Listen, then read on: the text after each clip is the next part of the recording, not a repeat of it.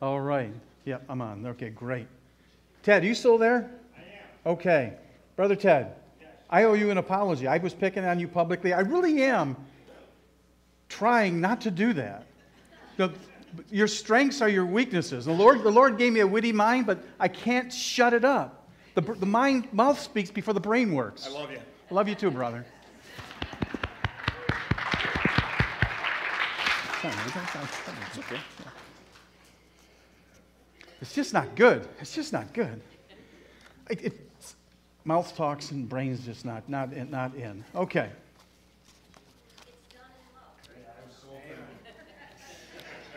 Oh. It's, it's like coming out my mouth. I'm like, ah! And it's gone. All right. We are studying on Abraham's life. And as I said last week, in week two, we're going to be covering this, this walk of faith, walking in faith and also walking in fear, and the world's watching.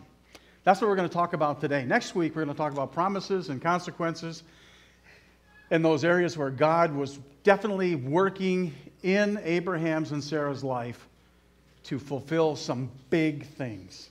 Uh, we're going to see some big things too as we talk about this walk of faith. But when, when we get into it, they're going to come to a point where we're going to look at the positive things that, Abraham did and some of the negative things that Abraham did. And it's easy to sit back like we are now and criticize. That, that part's easy to do. We say, hey, you know, Abraham wasn't that good anyway. I don't know why he, everybody just thinks so much of him. Like, look at, look at that stupid thing he did. I would never do that. We see those kind of things, so it's easy to sit back and criticize. How many of you would like everything you've done right and wrong written down for all of us to look at for the next 4,000 years? No, Lord. There's just a couple. I don't even want anybody to know.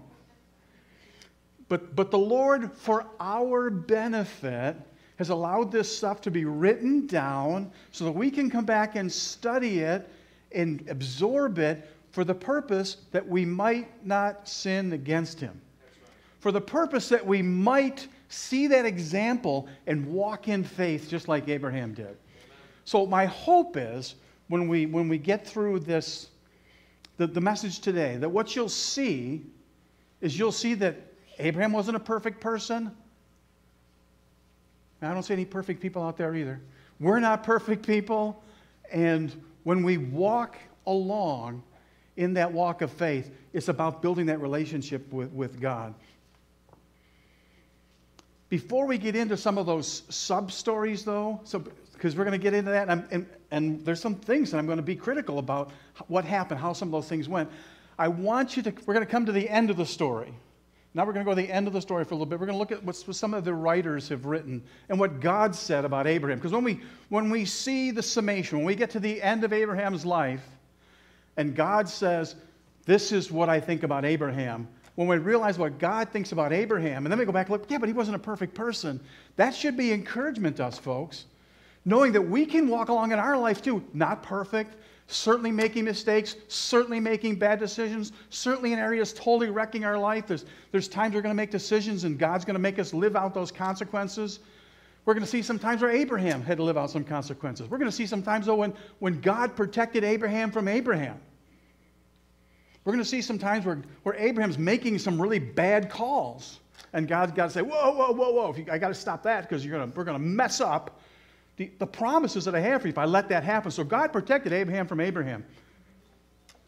I'll bet you God's protected you from you at times. And I bet you there's sometimes when he said, no, we're going we're gonna let that one stick. We're going to let that one happen. We're going to let that, that thing happen, and, and uh, we're going to live with those consequences. That happens too sometimes. Just as a reminder that we're not all we think we are. Uh, we, we as people are very self centered, very selfish. But this walk of faith that we're going to be talking about today, not just Abraham's, but I want, I want us to keep relating that back to our walk of faith.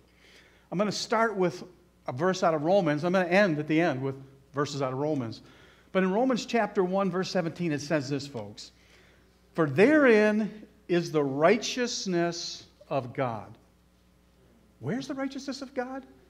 Therein is the righteousness of God revealed. Get this, now get this. This is where the righteousness of God is. It's revealed in faith to faith. As it is written, the just shall live by faith, not by fear. The just shall live by faith. Now, what does that mean, this faith to faith? Let me just help you get your, your head around that. Because what the writer's talking about, what Paul's talking about when he wrote that to the Roman Christians is, is when we are walking with the Lord, he's going to ask us to step out in faith. And, and when we're a young believer in that walk, it's going to be like, okay, Lord, you said you got me. Oh, oh, oh, oh. And then the Lord comes through, you're like, whoa, that was cool. What a ride.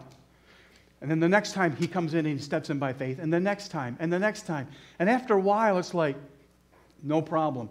Lord, I don't care what you put in front of me. I know you've got my back. You've always had my back. You've always come through. You've always protected me. I've never starved. I've never lived on a roof. And the Lord repeatedly, repeatedly, repeatedly has, has met your needs and the things you need. And, and when, you, when you come alongside a saint that's been through that part, that, that part of their life where they just trust the Lord fully, oh, I love being around saints like that. Because they just like, yeah, no problem, whatever, take me. Oh, you want to kill somebody? Here, I'll get in front. I, they just have full trust that the Lord will provide. So, so when Paul's talking about this faith to faith, he's talking about, yeah, I know the first one's going to be scary, second one, third one. But when you walk a life of walking by faith, expecting and, and seeing the Lord act, that's where righteousness is revealed. It's revealed when we walk by faith. Because when the world's watching and they see a believer who's walking faith to faith and does not get rattled when the whole world blows up, what do you think they see? They see Christ. And what they say is, I'm not sure what Brian's smoking, but get me a little of that. I'm not sure what Brian's drinking, but get me a little bit of that. And what we're drinking, and what we're smoking is the Lord Jesus Christ. That's where our hope is at. And when we walk along in that kind of faith, and the world sees it, they know it. And they recognize it. They still may reject it. They still may reject it. But they go, that's what I want. They just struggle making that decision because they think they think they're giving up everything, selfishness, to get the thing that they see that they want. So they can't, they can't do it. It's that tension. So they, they keep going down the path of selfishness. Dave Summerton and I were talking last night about, about this, this trying to ride the fence. And as Dave was saying last night, he's, he's getting it. There is no fence. You either are with the Lord or you are not with the Lord. There's no fence.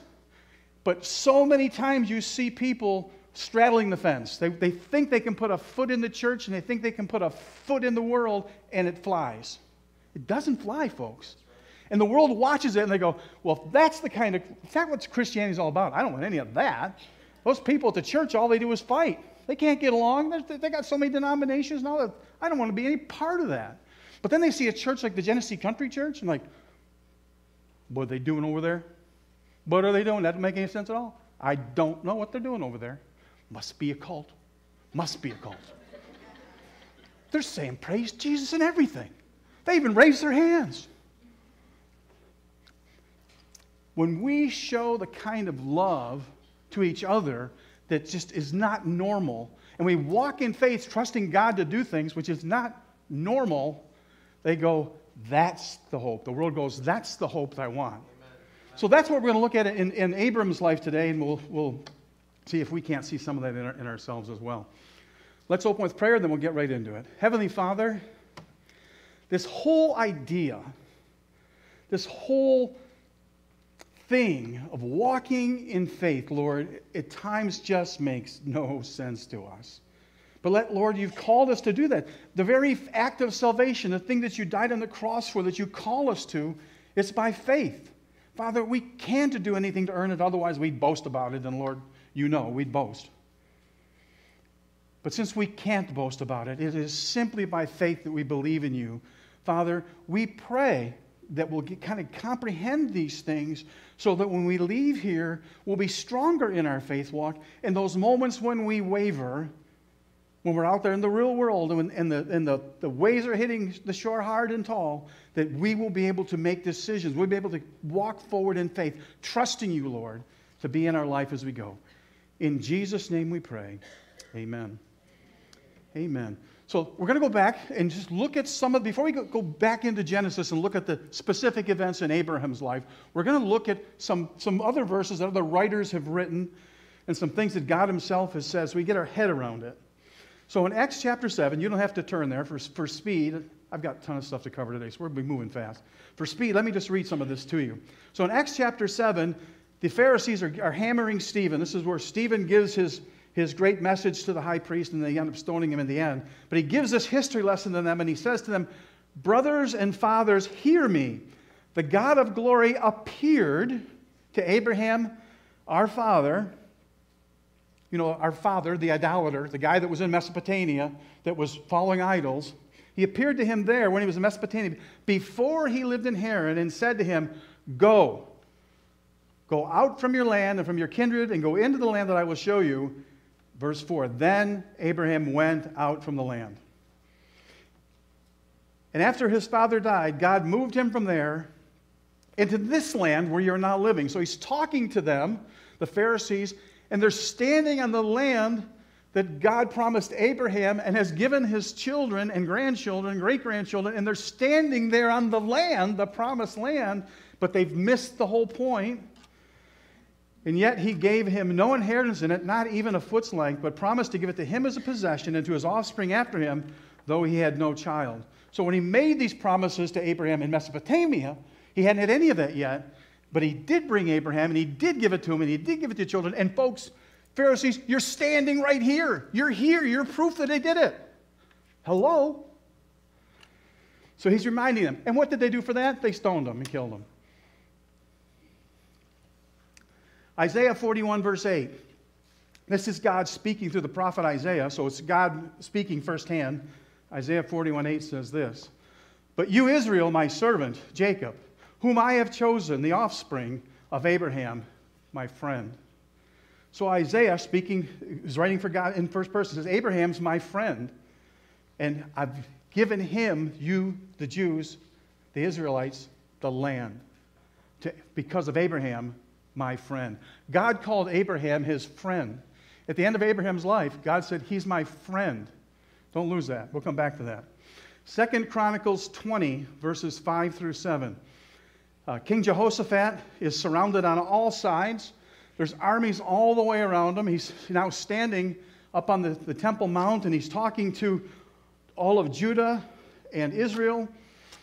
And he offers up this high prayer, this prayer, as he stands in the assembly. And 22, or verse, 2 Chronicles 20, 5 through 7 says this. And Jehoshaphat stood in the assembly of Judah and Jerusalem in the house of the Lord before the new court and said, O Lord God, our fathers, our fathers, are you not God in heaven? You rule over all kingdoms of the nations. In your hand are power and might, so that none is able to withstand you. Did you not, our God, drive out the inhabitants of this land before the people Israel and give it forever to the descendants of Abraham, your friend? Jehoshaphat's reminding God, didn't you give this land forever? Because Abraham's your friend? Don't let, him, don't let the bad guys get me now. He's calling on God, reminding God what God's promises are. And God delivered. That's Jehoshaphat reminding the Jews that Abraham was God's friend. Galatians chapter 3, verses 1 through 14. Oh, foolish Galatians, who has bewitched you?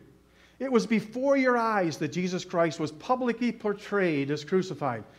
Let me ask you only this Did you receive the Spirit by the works of the law or by the hearing of faith? Let me ask you. When you got saved, was it by the works of the law or by faith? By faith, right? Are you so foolish, having begun in the spirit, that you, now you're being perfected in the flesh? Did you suffer so many things in vain, if indeed it was in vain? Does he who supplies the Spirit to you and works miracles among you do so by the works of the law, or does he do it by the hearing of faith? Verse 6, Galatians 3, verse, chapter 3, verse 6. Just as Abraham believed God, and it was counted to him as righteousness, just as Abraham believed God, and it was counted unto him as righteousness. By faith, right? By faith. Verse 7 Know then that it is those of faith who are the sons of Abraham. It's the sons, the ones that are saved by faith, that are the sons of Abraham. What did the Jews keep, keep saying? Abraham's our father. Abraham's our father. Abraham's our father. But Paul reminds the Galatians no, no, the, the children of Abraham are the ones that, that walk in faith, not the ones that walk in the law. Because we're not saved by the law, right? He's reminding them that. And because of that, he, he's pointing out that Abraham is the prototype of faith. He's the prototype of a Christian. He's a prototype of a faith walk. And I'll remind you that he lived 500 years before the law was even written. Abraham did not create the law, write the law, follow the law. He was an idolater. He was an unsaved man living in an unsaved place where craziness happened, and God said, Believe me. And Abraham believed him and walked by faith. And if God said go, he went. Verse 14, I'm going to jump down to 14. So that in Christ Jesus the blessing of Abraham might come to the Gentiles, so that we might receive the promised Spirit through faith. Get that? Written to the, written to the Galatians. So in Christ Jesus, the blessing of Abraham. So, this blessing of Abraham, that he would bless all the families of the earth, that's the promise that promise goes way beyond Israel, way beyond the Jews, and it's bestowed on us, as he's pointing out here, so that in Jesus Christ, the blessing of Abraham might come to the Gentiles. I'd be a Gentile. How about you folks? We, because of Abraham, set that precedent. Because of Jesus Christ, what he did on the cross, we can, by faith as Gentiles, become heirs. Folks, that's exciting. That's exciting. Hebrews chapter 11, the great, the great Hall of Faith chapter. Starting at verse 1. Now, faith is the assurance of things hoped for. There's, there's hope, but it's assurance of hope. I believe it. I believe it. It's going to happen. It's assurance of hope. And the conviction or evidence of things not seen. So we don't even need to see it because what we see before us is the evidence. When back Genesis 1 1, when we see creation, when we look across the horizon and we see creation, that's the evidence that I can easily believe in God. I study that and you look at it. You cannot pick up a leaf and tell me, that's a nice random leaf. The very pattern on a single leaf would be engineered. If you saw it any other place, you'd say, hmm, I wonder what engineer did that. Then you pick up the next leaf and it's engineered as well, but it's different. Then you pick up the next leaf and it's engineered as well, but it's different. And you pick up the next leaf and it's engineered as well, it's different. And it's so cool that they have to have guys like Chip Malone figure it out and tell us all about it. I, I, I don't know how you can look at these things and not clearly understand that faith is the evidence of things hoped for, or faith is the assurance of things hoped for, the evidence of things not seen. Verse 2, Hebrews 11, verse, verse 2. For by it the people of old received their commendation. By faith, by faith, we understand that the universe was created by the Word of God, so that what is seen was not made out of things that are visible. Jumping down to verse 8 in Hebrews 11. By faith, Abraham obeyed when he was called to go out to a place and he was received and he was to receive as an inheritance. And he went out, not knowing where he was going. Just went. By faith, he went to live in the land of promise, as in a foreign land, living in tents with Isaac and Jacob, his heirs. For he was looking forward to the city that has foundations, whose designer and builder is God. Ooh, that's deep. We'll touch on that in a second. By faith, Sarah herself received power to conceive, even when she was past the age, since she considered him faithful who had promised. Therefore, from one man, and him as good as dead. So, Abraham, since he's past the age of having children, he's as good as dead when it comes to having children, was born, were born descendants as many as the stars of heaven and as many as the innumerable grains of sand by the seashore. Down to verse 13. These all died in faith, not having received the things promised, but having seen them and greeted them from afar, and having acknowledged, having acknowledged that they were strangers and exiles on the earth. For people who speak thus make it clear that they are seeking a homeland. And if they've been thinking of that land from which they've gone out, they would not they would have had opportunity to return. But as it is, they desire a better country, that is a heavenly one. Therefore, God is not ashamed to be called their God, for he is preparing for them a city. The New Jerusalem, right? So was Abraham's home really in Ur? No, not really. Was it really in Jerusalem? No, not really. His home really is in, and he was looking for, the New Jerusalem, the new city that God's preparing now. And we too, folks, this is not our world. We are strangers, we are aliens in this world. We too are looking for that new city. If you want to read about that city, go to Revelation chapter 21, verses 9 through 27. And you can read about that city. That's where our citizenship resides. That's where it resides. Now I'm going to skip, go down to verse 17. By faith, Abraham, when he was tested, offered up Isaac. And he who had received the promises was, in fact, the offering up his only son, of whom it was said, Through Isaac shall your offspring be named. And he considered that God was able to even raise him from the dead, which is figuratively speaking, and he did receive him back. God is the provider.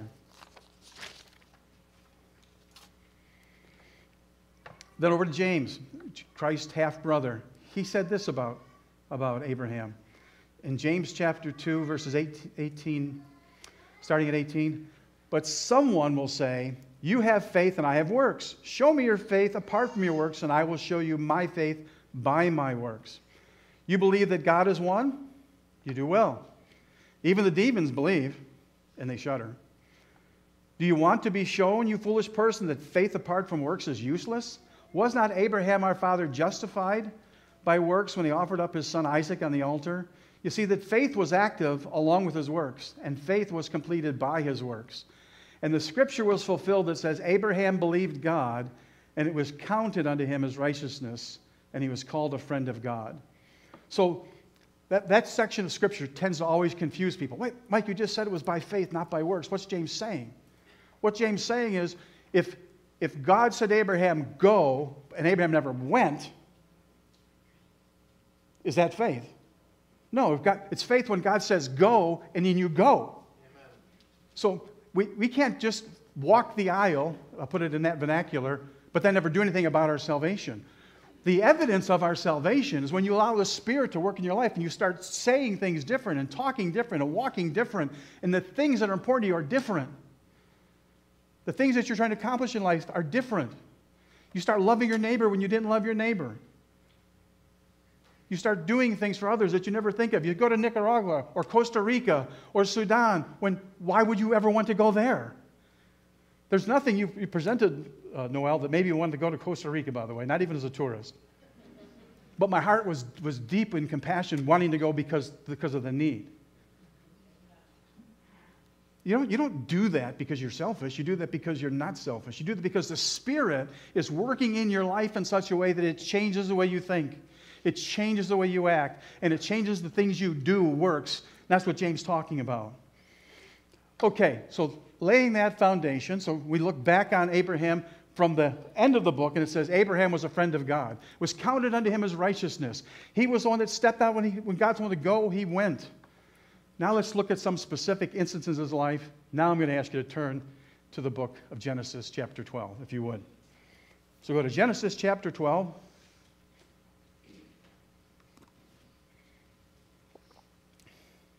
And we'll kind of do this together. Now I need my glasses. All right. So I want to look at some of the things where I'm going to start with three times in Abraham's life where he did not make good decisions where the Lord had to intervene because of the things he was attempting to do. And there, there fails on Abraham's part. Again, I can be encouraged that Abraham failed and he's still called a friend of God because I know that I've failed. But, we, but there's things here to learn. So, Genesis chapter 12, we're going to pick it up though at verse 10. So, there was a famine in the land, so Abram went down to Egypt to sojourn there, for the famine was severe in the land. First, so, let's just stop there for a second. So, the writer here, probably Moses, the writer here provides the excuse hey, there's a famine in the land. There's a good reason to leave the promised land that I just sent you to. Abraham had just made the big walk from Ur up to Haran, all the way down in, into Canaan. So he's in Canaan, and then he, there's a severe famine. And I think we can surmise when we come to the end of this story that God did not want him to go down to Egypt. Now, he did. It's part of the story, so we, we can see that. But he went. Verse 11 And when he was about to enter Egypt, he said to Sarah, his, Sarai, his wife, I know that you are a woman beautiful in appearance. And when the Egyptians see you, they'll say, This is my wife. I want her. And they will kill me, but they will let you live. When he was saying that to her, was he trusting in God to protect him, or was he operating out of fear? He's operating out of fear. The Lord has protected him all the way from Ur, that several thousand mile walk up to, up to Haran, down to the Canaan land. He trusted God. He went. God said, Go. He went. And he gets to the promised land, and then this, this famine sets in. But it was a severe famine. And he, he quits trusting God. He doesn't look to God for the reason or what's going on. He just says, Well, there's a famine in the land. I, I, I got to go down there. I know they got food. But then, but then he's afraid. He's afraid. And so he, he, he gets Sarah to lie with him, to lie, to not tell the truth. Verse 13 Tell them you're my sister, that it may go well with me because of you, and that my life may be spared for your sake. Now, she was his half sister, so they haven't quite fully lied, but they've certainly used it as a deception to the Pharaoh. So, because Abraham knows, Abram knows, when he says this to the Pharaoh, that she's single then. She, she must be available. So the deception was to, to save his own skin. So he's not trusting the Lord. Verse 14. And when Abraham entered Egypt, the Egyptians saw that the woman was very beautiful. And when the princes of Pharaoh saw her, they praised her to Pharaoh, and the woman was taken into Pharaoh's house. And for her sake, he dwelt, for her sake, he dwelt with, he dealt with Abram, and he had sheep and oxen and male donkeys and male servants and female servants and female donkeys and camels. So Abram had all this stuff, and Pharaoh was helping, give, providing the provisions to help him take care of all of his stuff why he's taking in Sarai. Verse 17 But the Lord afflicted Pharaoh and his house with great plagues because of Sarai, Abraham's wife. Now, Pharaoh doesn't know it's Abraham's wife. And the Lord's now starting to afflict his house. God to the rescue there, folks. God to the rescue. Why would, why would God do that? because they've, God has a plan for Abraham and Sarah, and it, the plan will get a little bit messed up if Pharaoh then takes Sarah's wife and then they start having a relationship. It's a problem. God had intervened because Abraham made some bad decisions. So Pharaoh called Abraham and said, What is this you've done to me? Why did you not tell me that she was your wife? Why did you say she's my sister so that I took her as my wife? Now then, here's your wife. Take her and get out of here. Get out of here now. And Pharaoh gave men orders concerning them, and they sent them away with his wife and all that he had. And where'd they go? Back to the promised land. Folks, the world is watching. So Abraham lied to this unsaved king. God had to appear to the unsaved king and say, Don't do that. You're going to be violating this woman. That's a big deal. That's a big problem. And Abraham gets sent out by the Pharaoh with his tail between his legs. That's a classic fail, folks. And the world was watching, and he didn't do well there. He should have seen God as his provider, but for whatever reason, he was walking along in his life at that time, he and Sarai, and they were, they were weak in their faith. It was one of those moments where they were just like down here. And they didn't have anybody to turn to, and they were making their decisions out of the weakness of the human spirit. Have you ever been there? Folks, what would we do, or what should we do, if, if we're in one of those low moments and we're feeling really stupid and we're looking to make some really bad decision? Would we go to our multitude of counselors? Would we come to prayer meetings and say, pray for me, man? I, I'm really struggling with this thing. Pray for me. There's this physical thing going on. Pray for me. I'm going to have to move to Portland, Oregon, where all the fruits and nuts are. pray for me. We, we have things that we can do, folks. We should learn from this.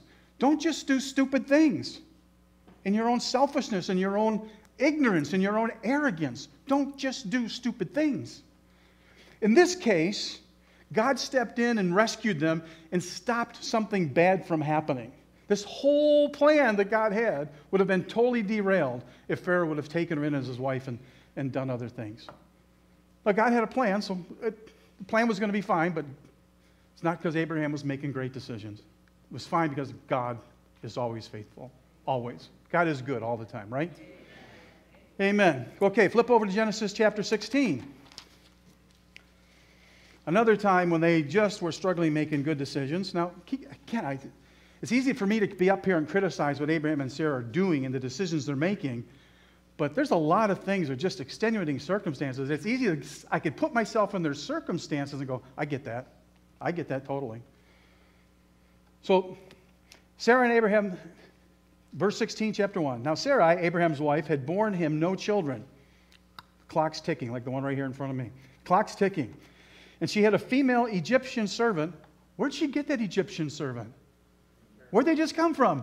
Egypt. They just, she, they just picked her up. She's on the train now. So they pick up this Egyptian servant whose name was Hagar. And Sarai said to Abram, Behold now, the Lord has prevented me from bearing children. Go unto my servant, that it may be that I can obtain children by her. Stop just there for a second. Has God ever sometimes said, I want you to go do this thing, but wait for the get this, wait for the timing. I'll make it happen, but there's a different timing. And we sit there and go, been been a day now, been a week now, been a month now. I don't think God has the answer. I think I'll just take care of this one myself. This is the little thing. And this is one of the things that we, we really mess up in life. When, when we look at this, we're going to see that on the big things, it really appears that Abraham was got it. When the big things are right in front of him, he was like, Let's go, God. You say go, and I'm going to go. You say sacrifice my son, and I'm going to sacrifice my son. But this, this thing, I, I can handle this one. This one I can handle, Lord. Just, just give me Hagar, and we'll take care of this thing. Well, I, I, I'll fix your plan, God. I got a better idea than probably you have. We do that all the time. And Abraham listened to the voice of Sarai. Bad idea. So after Abraham had lived 10 years in the land of Canaan, so now they're around the 85, 86, Sarai, Abraham's wife, took Hagar, the Egyptian, her servant, and gave her to Abraham, her husband, as a wife. And he went into Hagar and conceived. And when she saw that she had conceived, she looked with contempt on her mistress. So Hagar is look, now looking with contempt on her mistress Sarai. And then Sarai says to Abraham, May the wrong done to me be on you Am I the only one that looks at that and goes, wait a minute? You, it's your fault. You, you put that there. You told me to do that. When we start making bad decisions, then every, the things that are really illogical seem to start to sound right. So yeah, I, I, may have given it to you, Abram, but it's your fault. You figured out. If, if there's any punishment for this one, it's on you. I had nothing to do with it. You went in there and you did those things. How often, when we sin, it's easy to sin again, or lie to cover it, or do this to be deceptive. It's so easy to do that, folks. We, it gets illogical. So Abraham punts it back and he says to her, Hey, she's, she's yours. She's your servant. Do whatever you want. So Sarai sends her away. Total human compassion gone for Hagar. And she gets out in the wilderness, and God comes to her, and God rescues Hagar and says, Hey, I got big plans for Sarah. Sarai and Abram, but I got plans for you too. Go back, submit to, submit to Sarai, your, your, your, your master, and, and I will take care of you. You will have children too, and they'll be as numbers in great numbers as well as the sand of the seashore. But they're going to be a little wild, and they're going to be a little bit of trouble for all the world. But but the, but I'm going to take care of you, and He does. This is one of those ones where God allowed it to happen. Sin has its consequences, and we know even today that Ishmael's children don't really like Isaac's children, and it's a big problem in the world. And we can't seem to solve this one. It's been going on for thousands of years, and we can't solve it because of this sin right here. Because we didn't, couldn't wait on God to work in His timing. Learn, learn something from that. Next page. All right. Genesis chapter 20. Let's go there.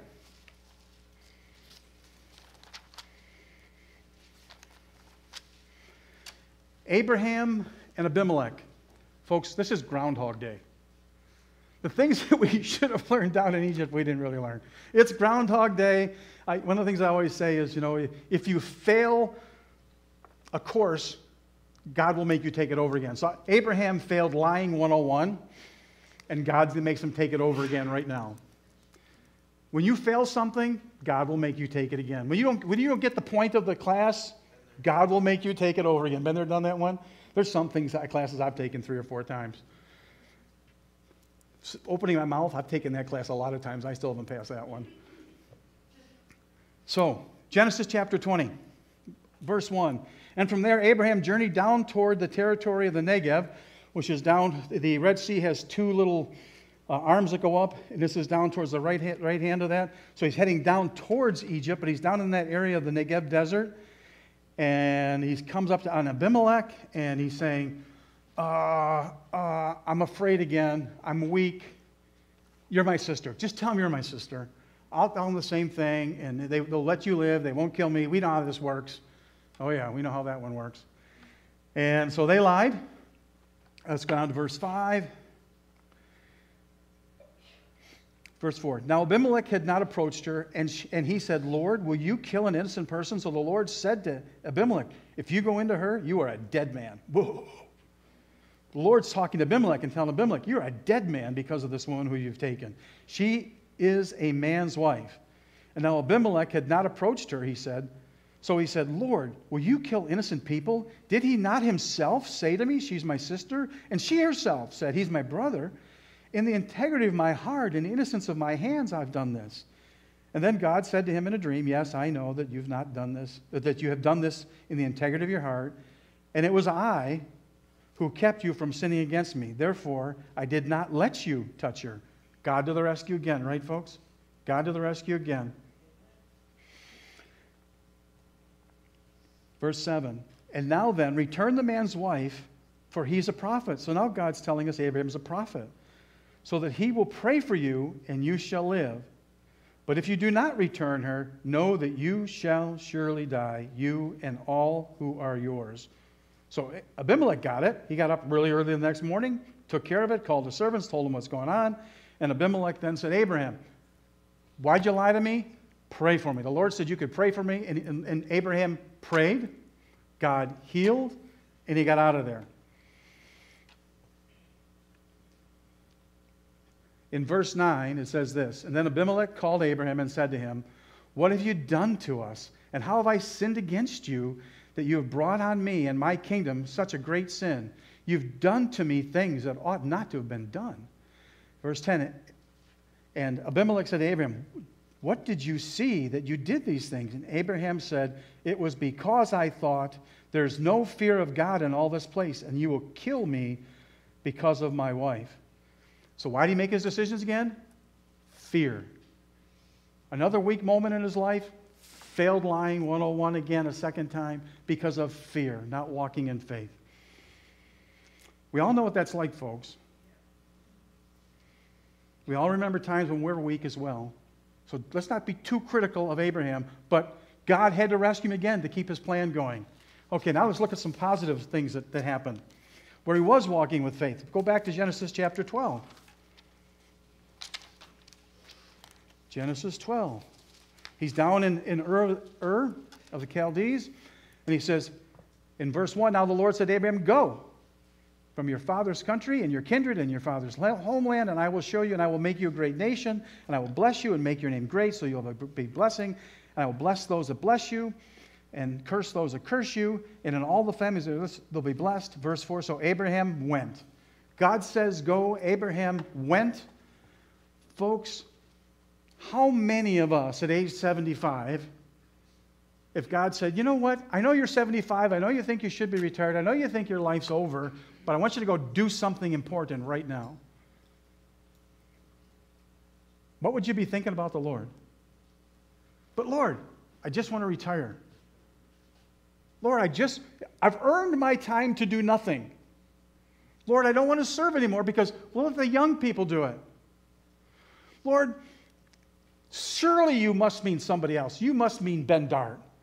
Ben Dart's young. He's strong. He's good looking. He can do it. What can I do, Lord? I'm 75.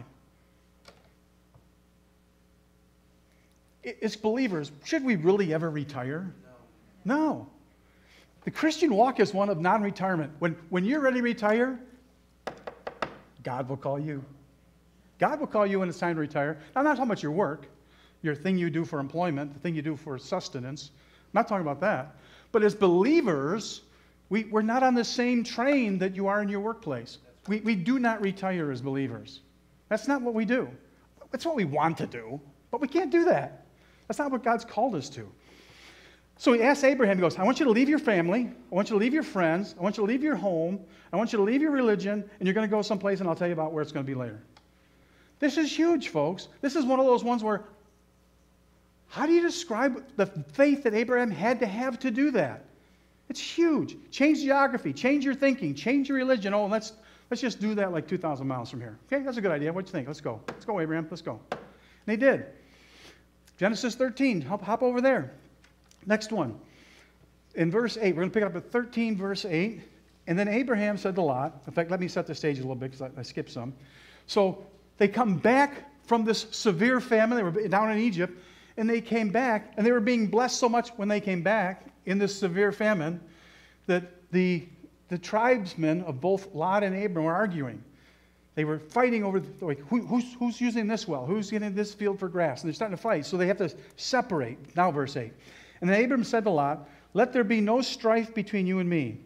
Abram is not a selfish guy. He's not trying to be confrontational. He knows God has his back. He knows God will provide. He knows he just screwed up down in Egypt. And he's looking for God to answer that now that they're back in the promised land during the severe famine. God's been blessing them. So he says to Lot, Let there be no strife between you and me, between your herdsmen and my herdsmen, for we are kinsmen. kinsmen. We're brothers. We're fam. Is not the whole land before you? Separate yourself from me, and if you take the left hand, then I'll go right. If you take the right hand, then I'll go left. And Lot looked up, he lifted his eyes, and he saw the Jordan Valley. It was well watered everywhere. So the Jordan Valley run, running from the Sea of Galilee all the way down to the Dead Sea, very fertile valley. Lot looks out, sees it. Yeah, I want that. Abraham says, Cool, take it, no problem. Verse 11 So Lot chose for himself all the Jordan Valley, and Lot journeyed east. Thus they separated from each other, and Abram settled in the land of Canaan. And while Lot settled among the cities of the valley and moved his tent as far as Sodom, now the men of Sodom were wicked and great sinners against the, the Lord. Verse 14 And the Lord said to Abram, after Lot had separated from him, so, so Lot's kind of out of ear, sight now, or ear hearing. And the Lord says to Abram, Lift up your eyes and look from this place where you are. Look north. Look south. Look east, where Lot just went. Look west, out to the Mediterranean Sea. For all the land that you will see, you can see, I will give it to you and to your offspring. How long, folks? Forever. Forever.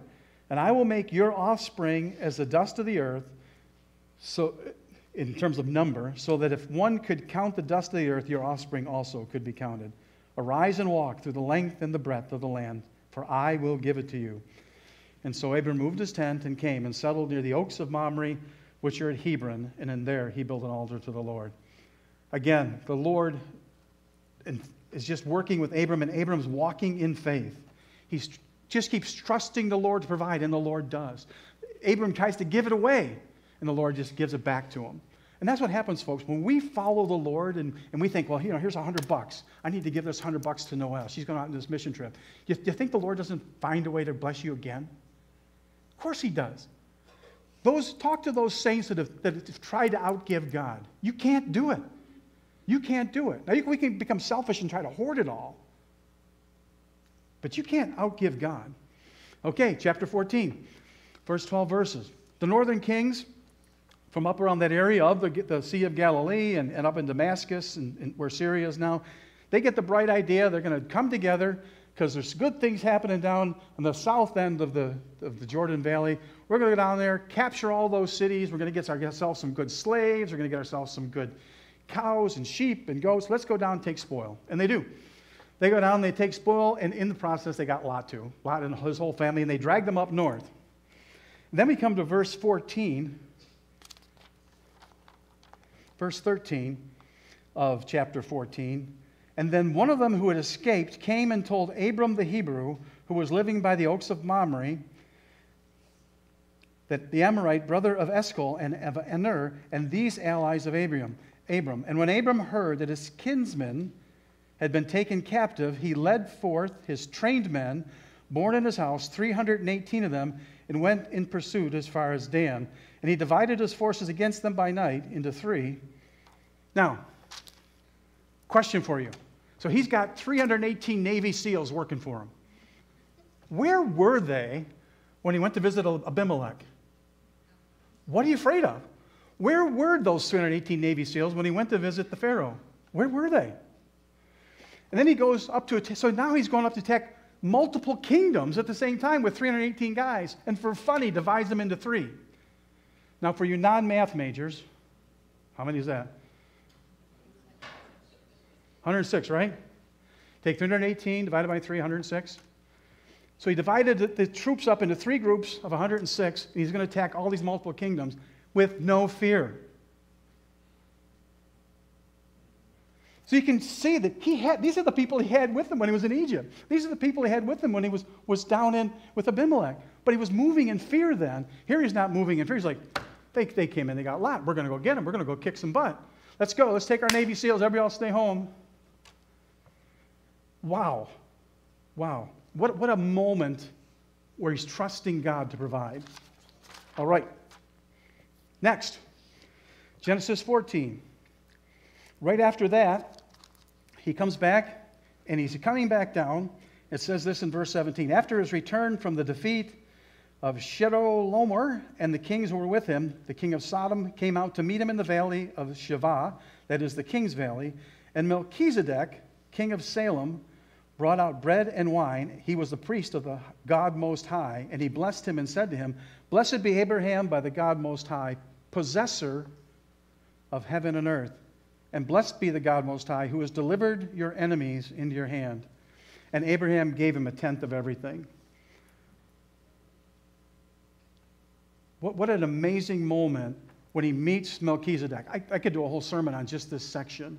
But Melchizedek is a priest of the Most High God we have not seen other believers in all these travels, and now we run into this, this, most, this priest of the Most High God who comes from Salem, Jerusalem, and he comes out and he, what does he say about Abraham? Blessed be Abram the Most High, by God the Most High. Abram is the, God is the possessor of heaven and earth, and blessed be God Most High, who has delivered your enemies into your hands.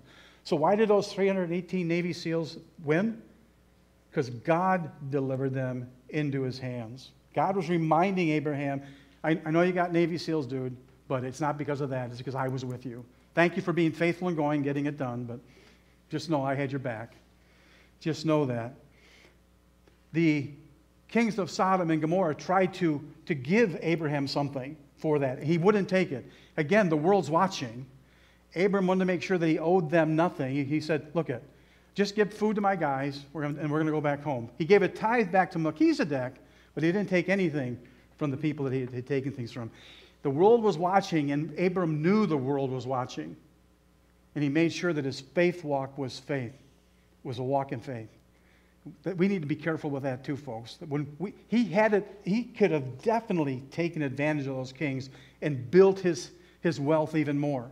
If he'd have asked them for them for a tithe, they would have easily given it to him. They probably would have whined about it, but they'd have given it to him. They'd have held it against him probably. But he didn't do it. The ultimate one, Genesis 22. Hop over there. Genesis 22. Genesis 22. This is where God is testing Abram, Abraham and asking him to offer his son Isaac. Chapter and after these things, chapter 22, verse 1. And after these things, God tested Abram and said to him, Abram, Abraham. And he said, Here am I. He said, Take your son, oh, by the way, your only son Isaac, oh, by the way, whom you love, and go to the land of Moriah and offer him there as a burnt offering on one of the mountains which I shall tell you. God reminded him, not that he needed reminded, oh, by the way, that's your only son. And God reminded him, oh, by the way, he's the one that you love. Take him, that's the one. Take him and go offer him as a sacrifice on Mount Moriah. Wow. Wow. So God is the one that puts the test out there and reminds him what he's giving up. Verse 3 tells us So Abraham rose early in the morning, saddled his donkey, and took two young men of his with him, and his son Isaac, and off they went. He didn't debate it with God. He wasn't wringing his hand, What am I going to do? He wasn't saying, God, can we talk about this one again? Are you really sure? I mean, come on, God. This, I hear what you're saying.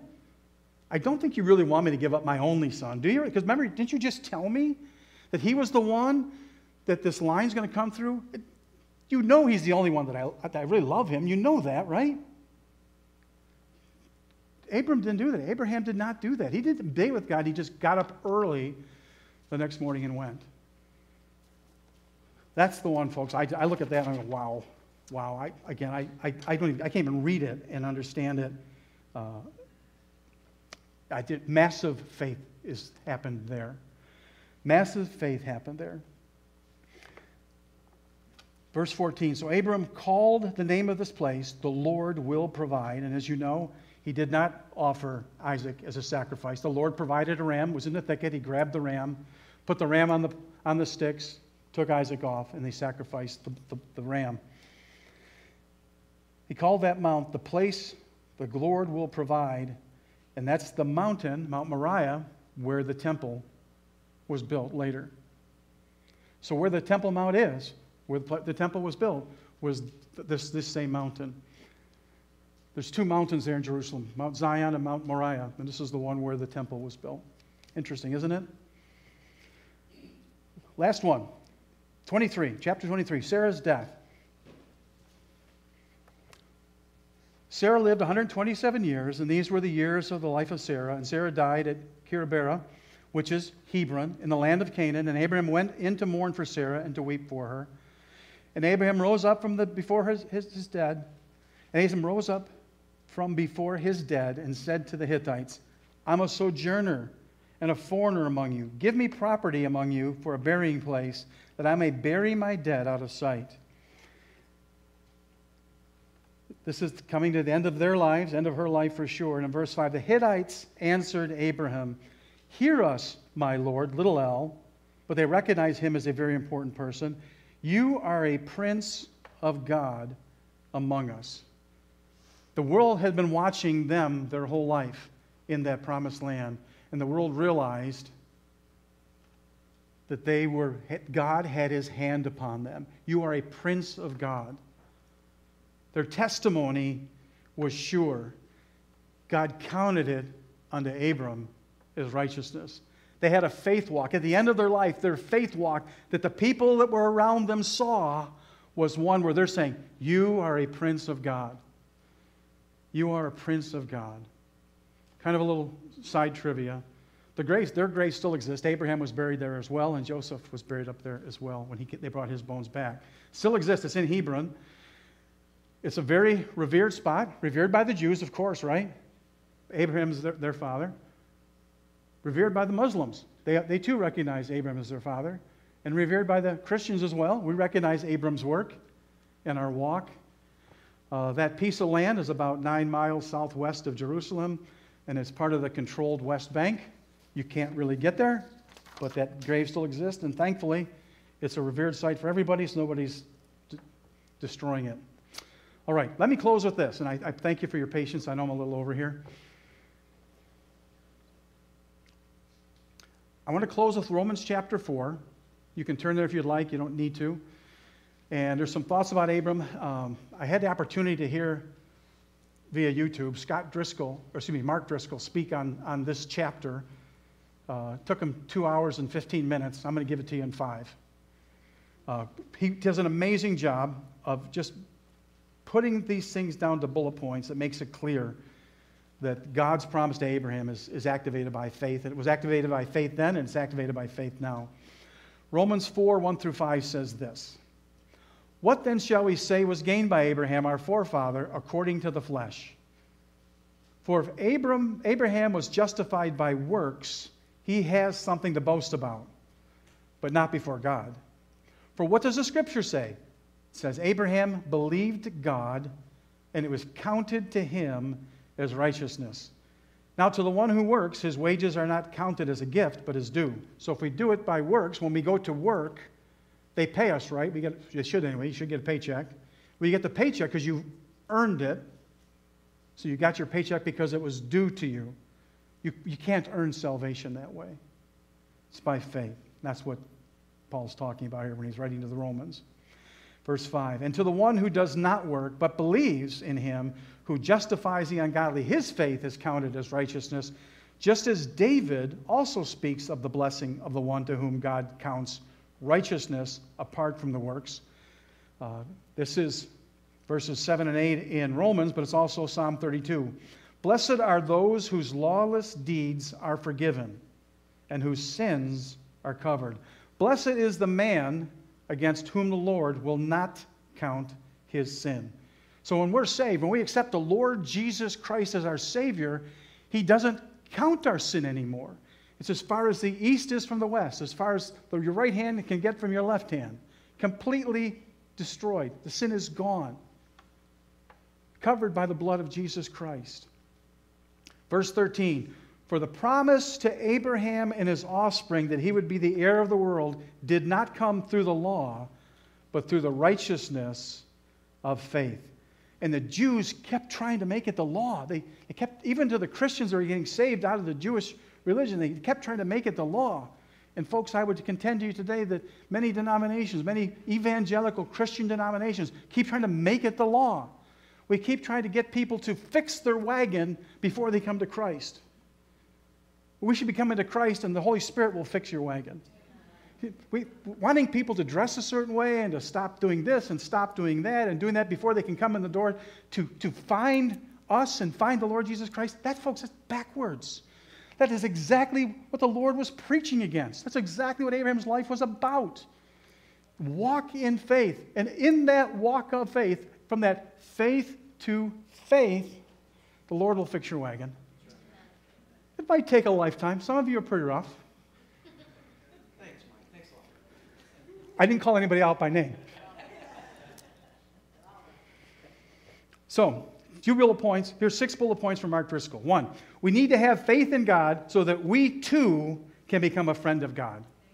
It's about relationship. Brother Dan is always reminding us that it's about relationship. Relationship with our Father, because the second bullet point, when we have that kind of relationship with the Father, we have no choice but to have a great relationship with our brothers. One good sign that you're struggling in your relationship with God is you're struggling in your relationships with each other. Abraham, this is another great point. I love this. Abraham was not looking for God, God was looking for him. God came to him in Ur and said, Oh, by the way, I want you to leave here and we're going to go. Abraham was not sitting down someday going, You know, I wonder, wonder if there's a real God. Wonder who he is. We may be, you and I may be. God is always looking for us even when we're looking for Him. But so God is looking for us. Next bullet point. We, all of us, have more knowledge of and about God than Abraham would ever have. We have more knowledge about God than Abraham ever had. Yet, as a society, we trust God less, we believe His word less, and we struggle to obey Him as well. Ouch. We should not expect to be the recipients of God's blessing, but we should expect to be the conduit. In other words, as God is blessing you, filling your cup and your cup's pouring over, He's asking you not to let it stop there. Be the conduit, not the recipient. Let it keep flowing. Keep it flowing. Keep it flowing. And God will keep blessing. Keep it flowing.